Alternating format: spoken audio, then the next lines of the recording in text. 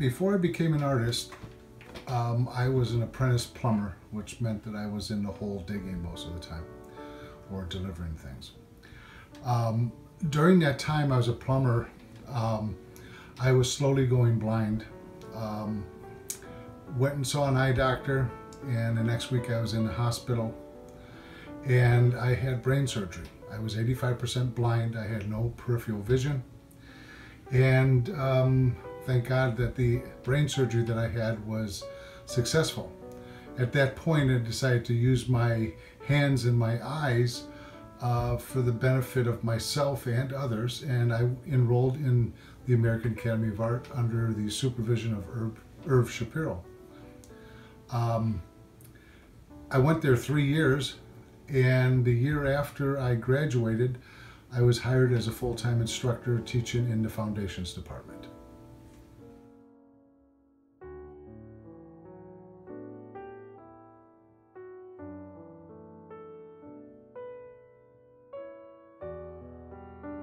Got into watercolor uh, for a few reasons. Uh, first, my father had um, an enthusiasm for watercolor. He always loved watercolor, and he encouraged me to try taking uh, the watercolor class down at the American Academy of Art.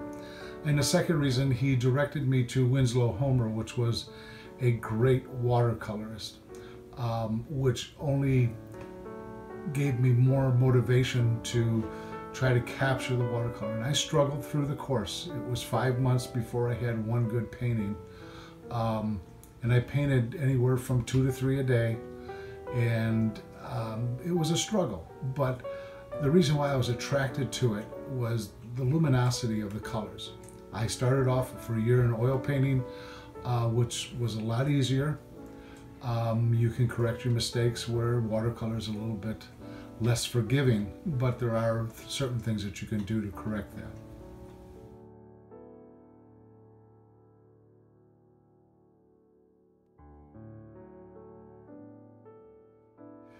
The most fascinating thing about the watercolor is uh, the outcome when you're finished uh, with a watercolor. It is it's something that just shines to you. Um, the hardest part about watercolor to learn it is what to anticipate uh, when it's dry. You cannot teach that. That's something that has to be experienced by the student.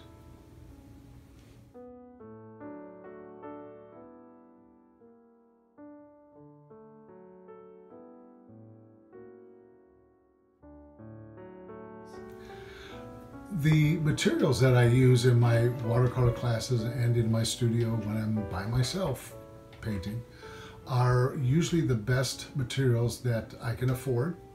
I do not advise any student to buy student quality materials of any sort. They'll give you nothing but problems. But I use, as far as paper goes, I use um, Arches 300 pound rough cold press and sometimes hot press. I use the Fabriano 300 pound uh, cold press or hot press. Um, as far as the brushes go, I always recommend real hair brushes. You cannot beat those. The synthetic hair brushes are wonderful for acrylic or even for oil, but for watercolor, real hair is very important because you need to load that brush, brush with pigment. You need to load that brush with water uh, and synthetics will not do it. If you can't afford real hair brushes, I suggest that you get a real hair synthetic brush. It's the next, next best thing. And check out different art stores before you purchase anything. Uh, it's very important because not one store has everything that you might need. Um, the watercolors, I like I said before, I do not recommend student grade anything because it will cause a problem. As the watercolor paper, student grade will cause a problem. You want 100% cotton paper. Anything else that doesn't say 100% cotton paper has wood fibers in it and it has a tendency of pilling and it doesn't have the durability of 100% cotton paper. Um, the brushes that I use, I've used Langnickel, Winsor Newton, uh, Morella, which I don't believe is in, in business anymore. Um, Robert Simmons brushes are very good, but go for the quality do not go for cheap. The watercolor paints that I use is a, a number of different types of paint or name brands. Um, I use Holbein, Winsor Newton. I've used American Journey, Graham, which has a honey base to it. It's a little bit different. Uh, some artists don't like it and some do, but you can keep your watercolors a little bit more wet for a longer time. Um, but it depends. I use a lot of different name brands of paint because certain colors I like in this name brand and certain colors I like in that name brand.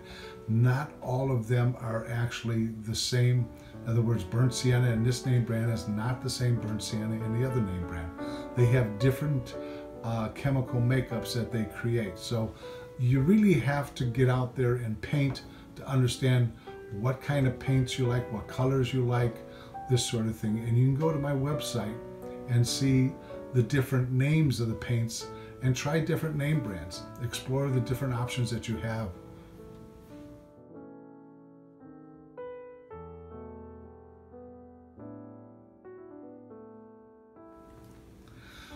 What do I try to express through my paintings would be the beauty of nature and probably man's uh, influence on nature but most of it's just plain beauty. I'm not into really giving a message through my artwork. I just want to have other people enjoy what I see and how I see it.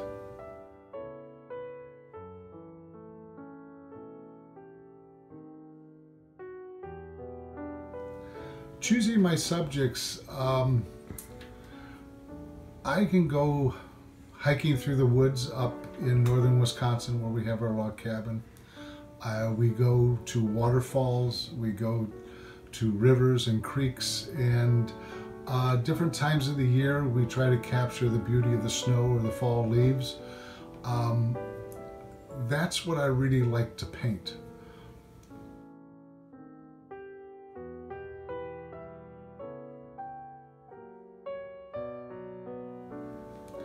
My style has changed over the years to where I've tightened up my watercolors uh, in certain areas and loosened up in other areas. Uh, it's an evolution of how you perceive your subject matter. Um, I'm using quite a few more colors than I used to. Um, I usually paint with anywhere from six to nine pigments on my tray at a time. I feel that if you have too many pigments on your tray, um, it gets a little bit too confusing sometimes. But I have evolved into different subject matter. I've detailed things a little bit more. Um, layering the watercolor has changed from when I was a student till now. Um, but a normal progression or an evolution of your style uh, will change like your handwriting over the years you begin to see things differently and you see colors differently and you see the proper values more um, because everything is based on drawing and value and then color.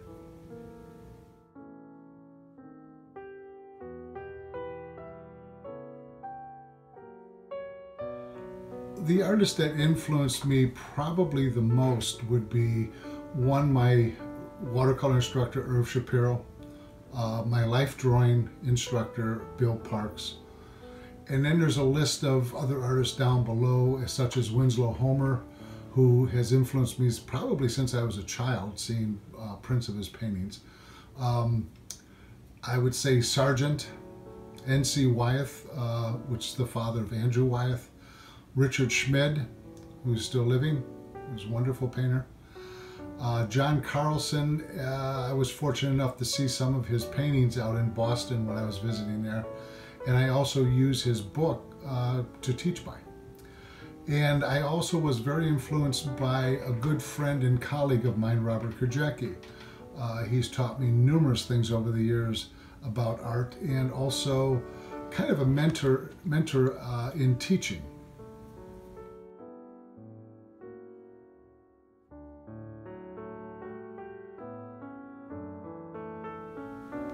The best piece of advice I have been given is by numerous instructors and, and other artists. Uh, number one, don't give up. Number two, be patient with yourself and only judge yourself by your own artwork, but look around and see what you can learn from other people. Um, and the thing about understanding where you want to go, make a plan, uh, decide the type of material you want to paint, uh, and study it backwards, forwards, and upside down so that you will eventually get it right. You won't the first few tries or the first several attempts, but you have to keep on trying. Don't worry about wasting paper. Uh, if you don't make mistakes, you're not trying.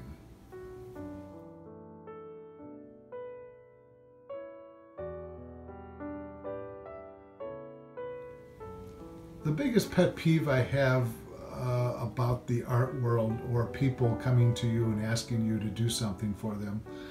Um, I've had numerous people ask me, could you do that painting half size for half the price? Usually the answer is no with a smile because I tell them smaller paintings are harder to do most of the time.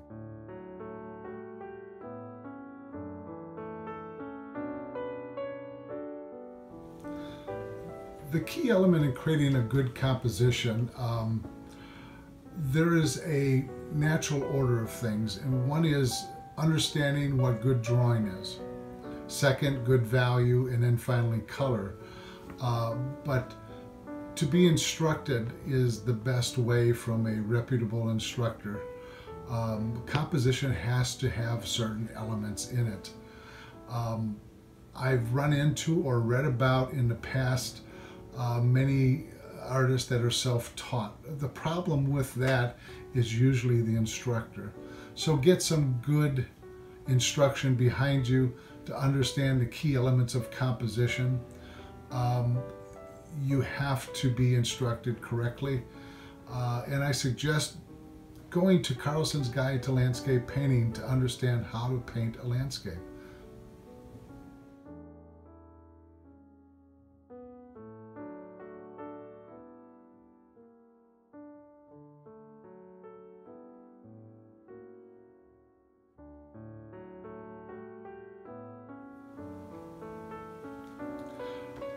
Of the time that I spend teaching is probably two thirds of the time, one third of the time in the studio. But you have to remember that I really want to teach people how to truly see. And second is that um, I learn from the students also. Um, I'm still a student. Um, I consider myself a student. And I think as soon as people um, realize that you never stop learning, um, you can't really fulfill your dream that you're looking for.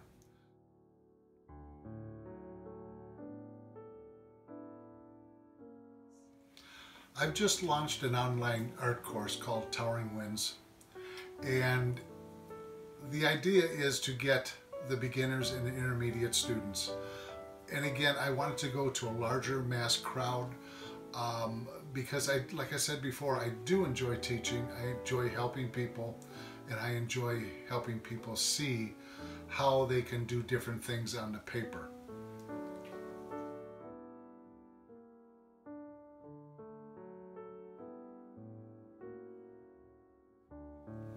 The last show that I was in was uh, the signature members of the Illinois Watercolor Society at the Peabody Estate in Oak Brook.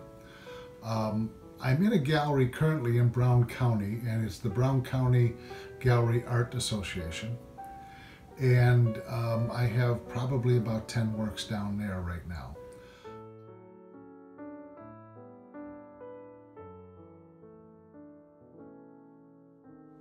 The only advice I have for somebody that wants to become a full-time artist, uh, make it your dream and don't let anybody derail you.